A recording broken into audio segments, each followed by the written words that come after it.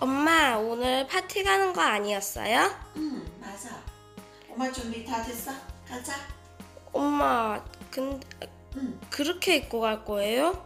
No! God, please, no! No! No! No! 응. 왜? 안 이뻐요. 이거 할머니 옷 같아요. 이거 할머니 옷 같아요. 할머니 같아요. 아, 정말? 어, 알았어. 다른 옷 갈아입을게. 네, 빨리 오세요.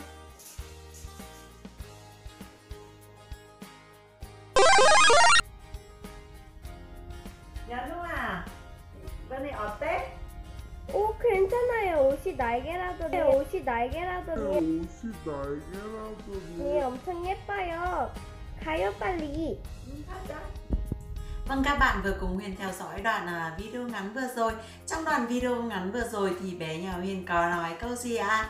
Vâng, có nói một câu cuối rằng là uh, oxy Đấy kê ta Vâng, oxy là kê ta Ốt có nghĩa là gì? Vâng, áo thì ai cũng biết rồi Là kê là một đôi cánh Vâng, chúng ta mà khi chúng ta nghĩ đến là thiên thần thì sẽ có cánh đúng không ạ? Vâng, đấy kê là cánh Oxy là kê tà Oxy là kê ta Thì ở đây câu uh, Oxy là kê ta này thì cũng tương đương một câu rất là thú vị ở bên Việt Nam của chúng ta đó chính là Vâng, người đẹp vì đùa, đùa tốt vì phân, đúng không ạ? Ở bên Việt Nam của chúng ta cũng nói câu là người đẹp vì nụa, đùa tốt vì phân à, Rất là đơn giản, à, dễ hiểu đúng không ạ? Oxy là cái ta thì ở tiếng Hàn này thì có nghĩa là 좋은 옷은 입으면 날개가 없는 사람도 마치 날개 있는 것처럼 멋있고 아름다운 보여요.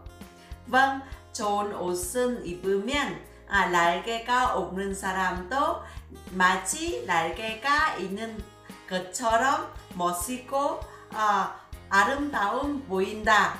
Thì câu này có nghĩa là gì nếu mà chúng ta một mặc một cái áo à, đẹp nào đó thì cái người mà không có cánh thì à, như là chúng ta lại cảm thấy rằng là cái người đó như là một cái người có cánh đúng không ạ? Như một người mà cánh rất là đẹp. À rất là đẹp này. À, xinh gái đẹp trai. Ở câu này thì dùng được cả cho cả à, nam và nữ à. và câu nói này thì người Hàn cũng thường hay sử dụng trong à, à, đời sống hàng ngày.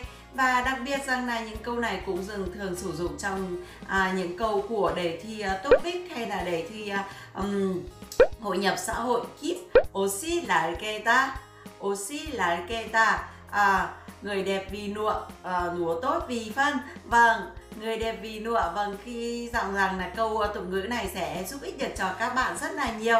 À, xin chào và hẹn gặp lại các bạn ở những video ngắn lần sau. Bye bye!